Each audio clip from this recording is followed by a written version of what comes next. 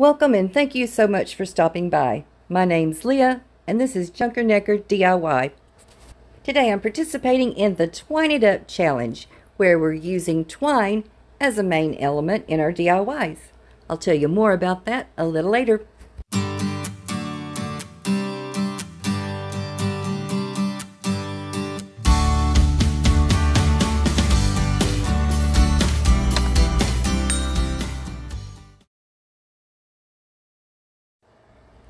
Have these three little pots that came three in a pack from Dollar Tree for $1.25.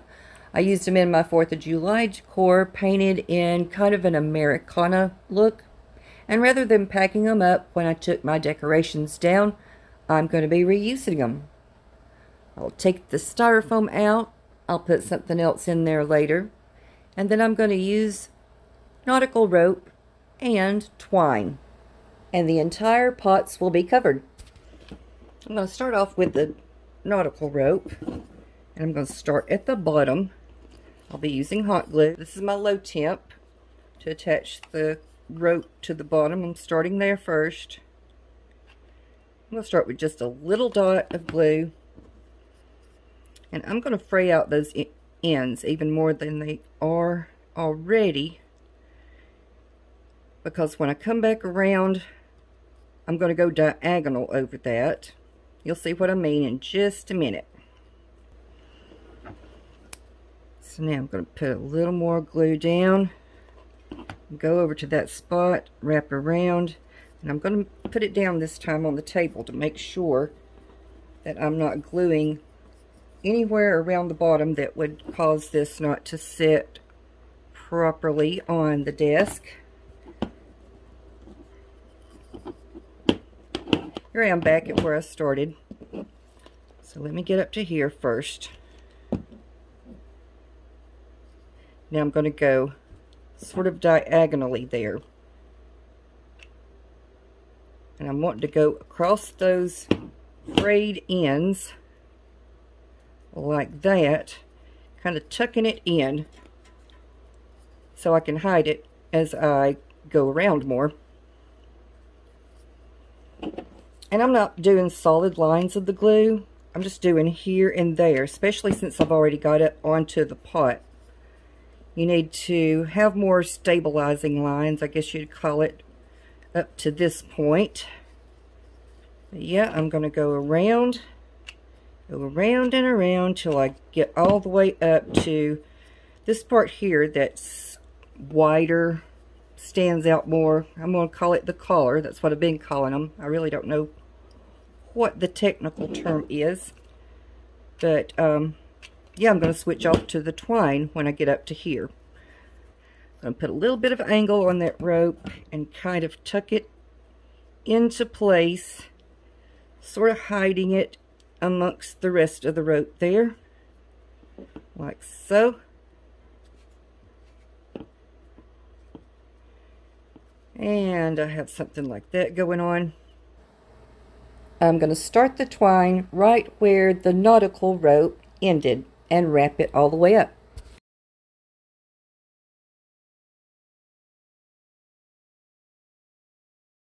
I'm going to leave the twine attached and I'm going to start wrapping over the whole thing. Just like this. And then once I've got all I want around that, I'm happy with how it looks. Let me put dotted glue here because that's trying to crawl up. I'm going to go back to the bottom where I first started. And glue. Right there. I'm going to cut it and this one is done. Well, actually it's not quite done. I'm going to use a lighter on it to burn away those little hairs standing out from the twine. Yeah, I'm going to go all the way around.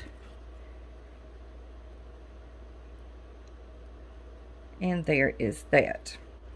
I have this dowel that I'm going to cut into three pieces, and I don't want them all exactly the same. I want them staggered a bit, so there'll be a, a short, medium, and a long. I went with three, four, and five inch. I'm going to be gluing on those some sand dollars from Dollar Tree. So I'm going to just put a line here, stick down a dowel, line of glue, dowel, line of glue, and dowel. Now I'm going to go back to the brown twine and start wrapping, see, going back to my low temp gun. I'm going to start right up against that dowel and I'm going to wrap round and around. I'm putting the twine right up against that sand dollar. I need to leave a little bit at the end to stick down into the pot.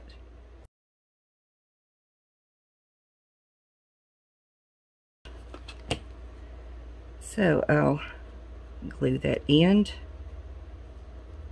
and then stick it down in a pot.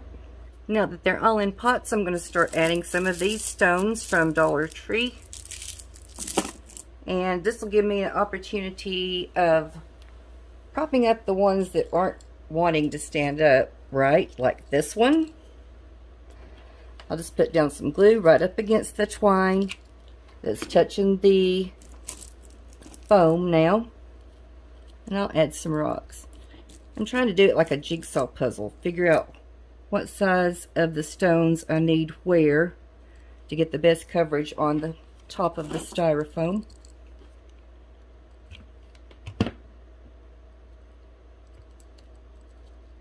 And there, I'm having to prop that a little bit. So I'm going to let that sit. Maybe sturdy that up a bit. Yes, much better. And I think I'm just going to go ahead and turn off the camera now. And when I come back, I'll be showing you the finished little decorative pots. I love how these turned out. I honestly do. And since they're neutral, I can use them year round if I want to. I think they would be super cute this fall with some pumpkins on the top. What do you think about that? The Twine It Up Challenge is hosted every month by Favi from the channel Creations by Favi, and her special co-host this month is Yelena from Blondie Next Door. I'll be leaving links to their channels and a link for this playlist in the descriptions below. So once you're finished here, go check those out. For this DIY, I'm using one of these Dollar Tree seahorses. And I'm going to be Mod Podging or decoupaging paper on the top of that. The paper pack came from Hobby Lobby. And it's got a lot of different kinds of nautical and some beachy looking things in here. So I'm going to look through and see what I like for the seahorse. Oh, wow, that's cute. Now, this is the one I want. I'm going to go with that one right there because that is so stinking cute. And hopefully I don't have to do a lot of patching on the seahorse. So here we go with the Mod Podge. I'm just using matte Mod Podge. I'm going to try to get the Mod Podge as thin as possible but still concentrated on those edges. Now, if I mess up with this paper, I actually have two like that. So I'm not terribly worried. I could always put Mod Podge on the back of the seahorse if I totally mess up and just start all over again. So, do I go diagonally like the lines on the seahorse? I think I shall, as much as possible. So, let's see. Line that up right there. Follow the lines on the seahorse. I guess I can move it to where you can see what I'm doing. Yep, I'm going to follow those lines and stick it down right there. Am I good? Yeah, it looks like it looks like I got it. Smooth it down a bit. I only need a little bit more on the tail. Now I'm going to cut out around the seahorse. I'm not going to wait for it to dry. I'll go ahead and cut around. Yeah, it looks crazy right now.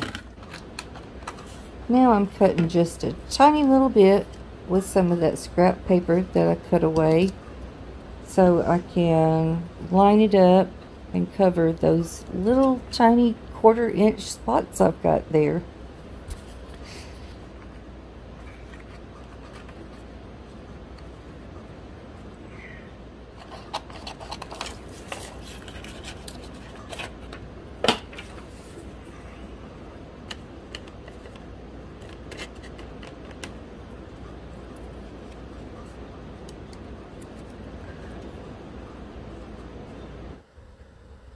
After I got the little scrap pieces Mod Podge down, I went ahead and went over the top of the paper with Mod Podge. It's already starting to crinkle, which I don't mind. I don't hate it. But, um, yeah, I figured since I Mod Podge those little scraps at the bottom, that it might change the look of the paper. Even though it's matte, it might make it look more shiny than the rest of it. So why the heck not? Just go all over the top of it too. I have some pretty significant bubbles, but I am not worried about that in the least. What I'm doing now, since everything's dry, is taking my emery board and going around the edges. I'm going to reuse this wreath with the nautical rope on it. Um, reuse, I didn't actually use it I put this together, I want to say it was like four of the nautical ropes on there. And I glued some gnomes on. Didn't like it. Took them back off. It left this mess. But I didn't want to throw away the wreath after all the work I put into it. It's a Dollar Tree wreath form. Dollar Tree nautical rope. What I'm going to do is I'm going to try to cover the most ugly spots, which I think will be about right here. I want to put the seahorse on the side, and I'm going to tie it on with twine. I'm going to use this green twine, and I'll pull it tight once I get it all wrapped up. I'm going to try to go in between these little, I don't know, would you call it a fin on the on the back? And I probably should put some hot glue on the bottom side so it holds its position. Oh, most definitely. I want to get a piece of twine right, oh, don't you dare, right there. I'm going to heat up my glue gun so I can actually get it to be sturdy where it's actually holding something and not just kind of laying on the side. Now I will gently turn this over. Hopefully not losing where I've got my twine and I did not. Yay! I'll just put some glue right on the ends of the twine. Well, where it's wrapping around the seahorse to hold it into place. I'm going to use some Sola Wood flowers that I bought last year. The set that I got is called Beachcomber.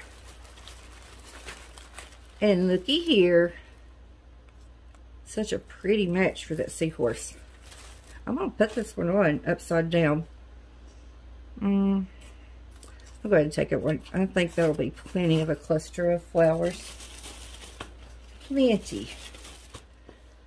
So I shall start with the largest. and cover up this big blobby area here. And that's kind of got a, a little bit of a, it's not a stem, but it's not flat. It kind of stands off the frame. So I may put some ribbon over there too. Let's go here with that one. Out toward the edge more. And this one that said, the upside down flower, I'm going to put it right in between those, I guess. Kind of let it hang into the center of the wreath. Like that. This large peach one, I'll go nestle that right in between those two. Oops, you're slipping.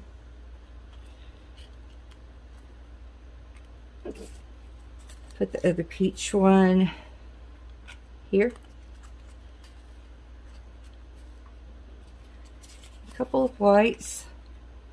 I'm going to actually tuck that in under that flower. Tuck that stem in. I'll do the same thing on the other side over here. Tuck in a little white flower right there. And you know what? It doesn't really need anything else. Since I got that out of the pack, I'll go ahead and put it put it on there. Just a little bit of glue. Tuck it in right right about there. Oh, that's so cute. Does it need ribbon? I don't know that I have ribbon that would match it. Oh, I should have defuzzed the twine. But still, it looks gorgeous. I super love this. I think it's so stinking pretty. So pretty. After I stopped filming, I decided to add that piece of the off-white nautical rope just because it was laying on the craft desk and I unwound, untwisted the ends on there and just glued it on in a squiggly pattern and I like it. Here's a poll for you if you don't mind answering below. Do you want to see more summer videos or are you ready to move on to fall? Your input would be greatly appreciated. I'm going to be twining up this starfish wreath from Dollar Tree. And I'll be using regular brown jute twine like you can find most anywhere. And I've already started by making a knot in the center of the starfish. Right there. I double knotted it. And then I took off some links of the twine so I could work with it easier. But you can see I'm just going in the same pattern under those lines that are going down the center of the starfish legs over the ones that are off to the sides. Now that I've made it out to the points, I'm going to start wrapping in a different way. What I'm doing here, I tied on a piece of twine, and I'm going to go in a figure eight pattern. And I'm picking up the twine. First one side and then the other. I certainly hope that made sense and that you could see what I was doing with the close-up there. Now, I'm going to add some white nautical rope on the top of that. Yeah, I'm just going to do down those and around the center. I'm going to leave that on there because those are so bad to fray that down. I'm going to go right up to the circle there. Going right down that middle wire. And curving it with the starfish's leg. I have these little shells that's from a broken necklace from the beach. And I thought I would just glue some here and there. on the starfish, especially where I have um, areas where I've got hot glue showing up pretty bad or a knot, whatever. Some of them are a lot smaller than others, so it'd be a little tedious for you to work with. But I also want to cover those ugly frayed ends there. I guess I'm going to start there.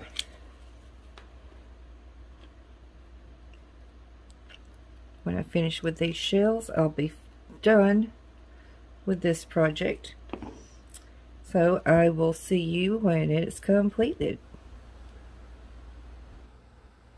I wouldn't say that I love this one, but I also don't hate it. I'm okay with it.